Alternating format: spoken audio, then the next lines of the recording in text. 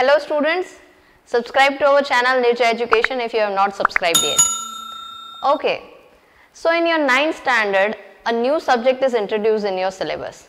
And you must be thinking कि इतने ही subject कम पढ़ रहे थे क्या जो एक और add हो गया let me tell you it is not a bad news, in fact it is a good news. Why? क्योंकि नए सब्जेक्ट के नाम पे आपको सिर्फ़ फोर चैप्टर्स पढ़ने हैं and this four chapters can bring you 20 marks and all chapters are so easy, so logical that I assure you if you listen to these videos throughout then just in single time you will be understanding entire concept of the chapter. Chapters are so easy and soon it is going to become favorite subject of yours. The subject name is economics. Let us understand what is economics. Economics is basically study. Study of what? Let me tell you uh, whoever you see around you आपके neighbours में, आपके mummy papa या जो कोई भी they are indulge in some kind of work for earning money now, in whatever work they are indulged, they are actually doing production production of either service or goods. जैसे कि आपके पापा अगर किसी फैक्ट्री में काम कर रहे हैं तो वहाँ पे गुड्स क्रिएट हो रहे हैं। अगर आपकी मदर किसी आईटी फर्म में काम कर रही है तो वहाँ पे क्या हो रहा है? वहाँ पे सर्विसेज़ प्रोड्यूस हो रही है। As a teacher what I am producing service okay so ये जो है प्रोडक्शन ऑफ़ सर्विस और गुड्स इसमें क्या क्या चीज़ों की ज़रूरत पड़ती है?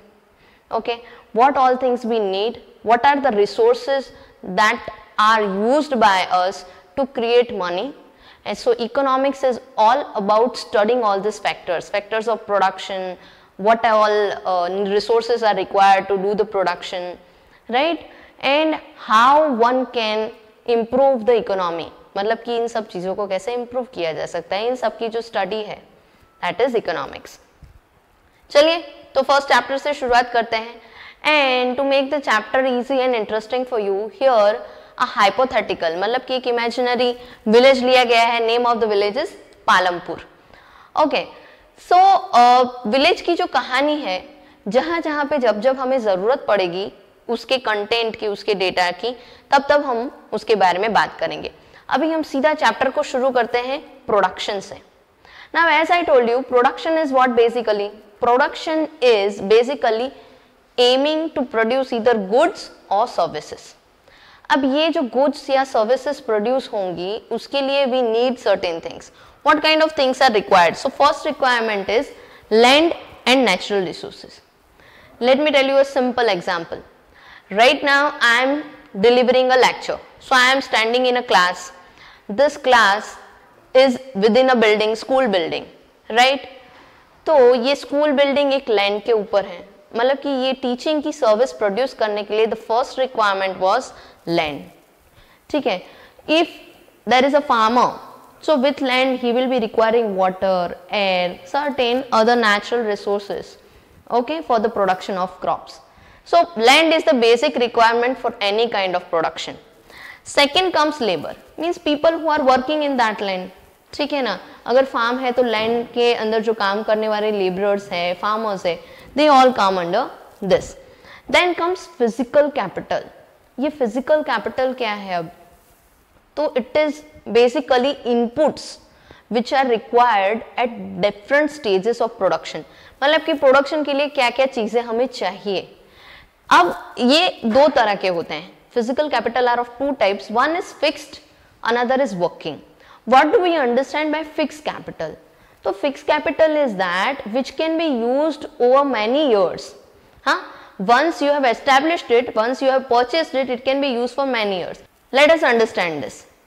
For example, a school building, once built, it can be used for several years. मतलब कि आपका academic year change होता है उसके साथ school building तो नहीं change होगी तो building is fixed capital means once you invested once you purchased it then it can be used for several years for the purpose of production.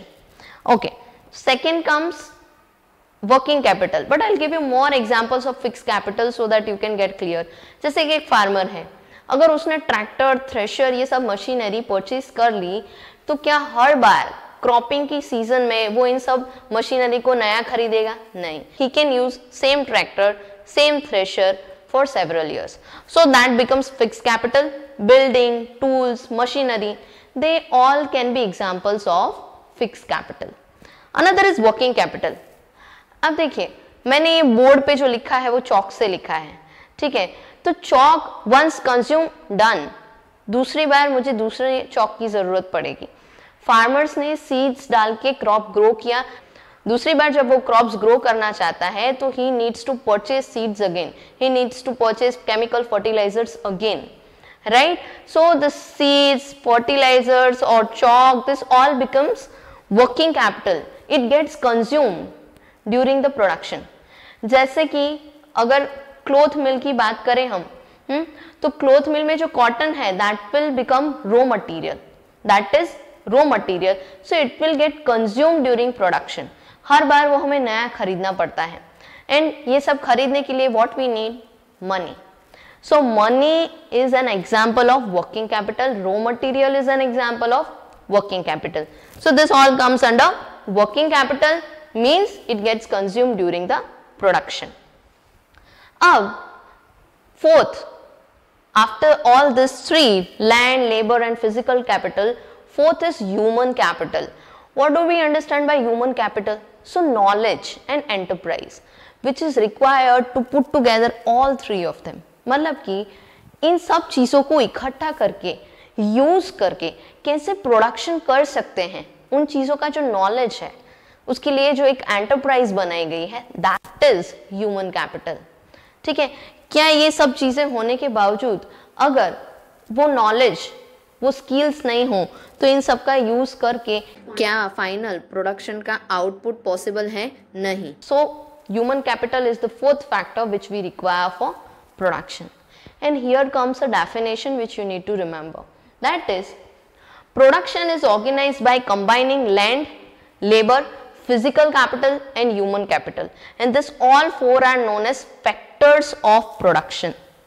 Simple C definition है है ना कि ये सब चीज़ें हैं जो हमें ज़रूरत पड़ती है प्रोडक्शन के लिए इनको हम फैक्टर्स ऑफ़ प्रोडक्शन बोलते हैं ठीक है अब in this chapter, what we are going to do, one by one we are going to understand each of the factor. And ये जो फोर्थ फैक्टर है, वो आपके नेक्स्ट चैप्टर के लिए छोड़ा गया है इस चैप्टर में. So in this chapter we will be understanding this three land labour and physical capital okay so let's understand land